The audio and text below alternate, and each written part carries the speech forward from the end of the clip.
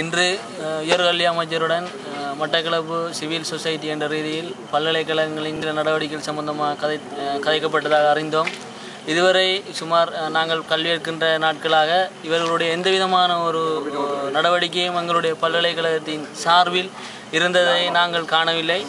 மேலும் நம்முடைய கல் பல்கலைக்கழகத்தின் வளர்ச்சியை நாங்கள் தனித்தே மாணவர்கள் சமூகம் என்ற ரீதியில் இயங்கிக் கொண்டிருக்கிறோம் இது உண்மையாக அக்கறை கொண்டவர்களாக இருந்தால் நாங்கள் வரவேற்கக்கூடியமா ஒரு நிலையை ஏற்படுத்தக்கூடியமா இருந்திருக்கும்.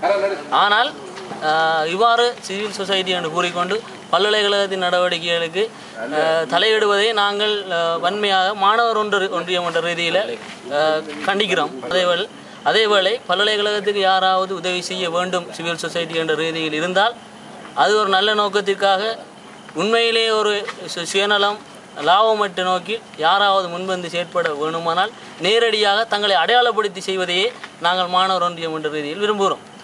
இதுபோன்று தங்களுடைய பெயர்களை பயன்படுத்தி பல்கலைக்கழகங்கள் தயவு செய்து இவ்வாறு நடவடிக்கையில் ஈடுபட வேண்டாம் என்பதை நாங்கள் தெரிவித்துக் கொள்கிறோம். உண்மையிலே தற்போது கிழக்கு பல்கலைக்கழகத்தில் ஊழல் மற்றும் நிர்வாக சீர்கேடு நடைபெற்றதாக கூறி ஒரு தகுதி வாய்ந்த அதிகாரியாக நிமல் ரஞ்சித் அத்தநாயக சார் அவர்கள் நியமிக்கப்பட்டிருப்பது உண்மையிலே பல்கலைக்கழகத்தின் அபிவிருத்தியில் அவருடைய பங்கு தங்கியிருக்குமாக இருந்தால் அவருடைய பல்கலைக்கழகத்தின் வளர்ச்சியிலே இது ஆளுமை செலுத்துமாக இருந்தால் நாங்கள் உண்மையிலே அவருக்கு அவருக்கு ஆதரவு தெரி மாணவர்கள் சார்பில் மாணவர் ஒன்றியம் என்ற ரீதியில் ஆதரவு ஆதரவு செ- தெரிவித்து அவரை நாங்கள் அவர்களுக்கு மேலும் ஊக்கமளிப்போம் என்றும் இதே இது த தவறு மாணவர்களுக்கோ அல்லது சமுதாயத்துக்கு பா பாதிப்பை ஏற்படுத்தினால் அதற்கு எதிராக நாங்கள் எதிர்ப்பு நடவடிக்கைகள் மேற்கொள்வதற்கும் தயாராக இருக்கின்றோம்.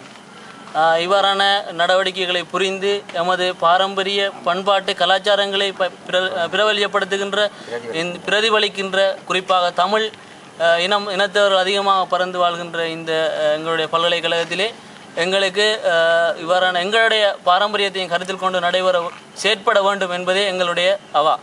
இதை செவ்வனை நிறைவேற்றுவார் என நாங்கள் எதிர்பார்க்கின்றோம். இதற்கு உறுதுணையாக மீள்குடியேற்ற பிரதி அமைச்சர் அவருடைய செயலாளர் அவர்கள் எப்போதும் எங்களுடன் இதுக்கு ஒத்துழைப்பு வழங்குவார்கள் என்ற ஒரு நம்பிக்கையும் எங்களுக்கு உள்ளது.